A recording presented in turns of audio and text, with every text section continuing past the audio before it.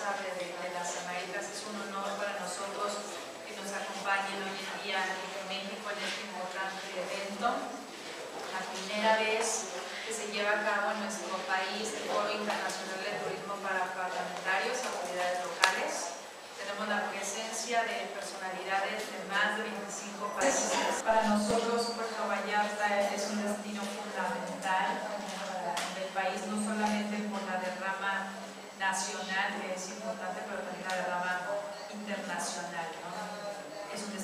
es importante que se invierta en continuar mejorando. Y aquí quisiera aprovechar para reconocer la labor del Estado y la labor del presidente municipal, tanto el gobierno del Estado, con el apoyo a través del secretario de Turismo, Aurelio López Rocha, y del presidente municipal, Salvador González, han hecho una labor extraordinaria, lo vemos en hay una muy buena coordinación con los empresarios, hay una muy buena coordinación con los diferentes integrantes que hoy en día para seguir Primero, tras constatar la necesidad de proteger los derechos del viajero como consumidor, se considera la conveniencia de elaborar una normativa internacional que pudiera inspirarse en el Código Ético Mundial para el Turismo de la propia Organización Mundial del Turismo. Y segundo, la complejidad y heterogeneidad del sector turístico exige una mayor claridad en la definición de responsabilidades y derechos de todos los actores intervinientes, tales como las agencias de viajes, los operadores, las compañías aéreas, las instituciones públicas, los turistas y la sociedad civil. Yo les agradezco su atención. en el séptimo Foro Internacional de Turismo para Parlamentarios y Autoridades Locales,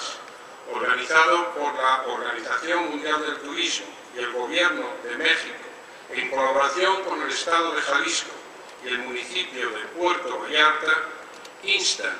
a los gobiernos, parlamentos, autoridades locales y sociedad civil de todo el mundo a que reconozcan la importancia del papel del turismo en ámbitos esenciales de la vida de las naciones, para que se le otorgue el rango que le corresponde en todos los órdenes del gobierno de la sociedad. El primero de esos ámbitos es la economía general de los países, en cuyo desarrollo el turismo tiene un papel preponderante que cumplir, especialmente en la recuperación de la crisis económica mundial, frente a la cual el sector ha demostrado su resistencia. En esa recuperación, el turismo puede desempeñar una función primordial, en particular a través de la cre- creación de empleo, que es la condición necesaria para una plena recuperación,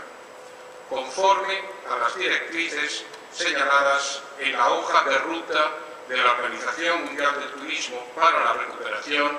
y que fue apoyada por los gobiernos en la Asamblea General de la Organización Mundial del Turismo. El segundo de esos ámbitos es el de la consecución de los objetivos de desarrollo del milenio, donde el turismo cumple un papel principal, muy particularmente en lo que respecta a la lucha contra la pobreza. Por este motivo, insta a los gobiernos, en primer lugar, a no retirar las medidas de estímulo de la economía, manteniendo criterios de sostenibilidad económica, social, cultural y ambiental. Entre esas medidas de estímulo económico, piden que se otorgue primordial consideración a la recuperación crediticia y financiera, que es una pieza esencial para la recuperación del turismo. En lo que respecta a la creación de empleo, las medidas de estímulo deben atender criterios de flexibilidad a la vez que de calidad del empleo, en cumplimiento de las normas internacionales de la Organización Internacional del Trabajo. En segundo lugar, para que pueda cumplir esas funciones, señalan la necesidad de que el sector público del turismo sea sólido y fuerte, para lo cual los gobiernos han de otorgar al turismo la más alta jerarquía en los órganos de gobierno de los países. Asimismo, destacan la necesidad de una estrecha cooperación entre los sectores público en sus diversos órdenes de gobierno y privada en todos sus subsectores. En esta interacción, que debe ir más allá de la promoción y el mercadeo, corresponde al sector público el papel primordial de crear las condiciones necesarias para atender los requerimientos de la demanda del sector privado.